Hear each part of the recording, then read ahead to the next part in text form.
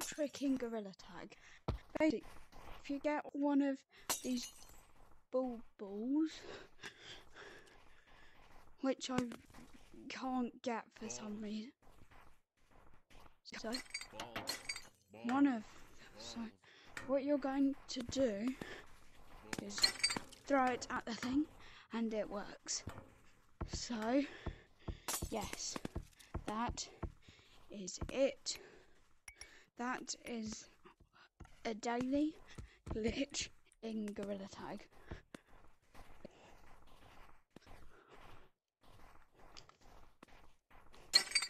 Yeah, you can do that.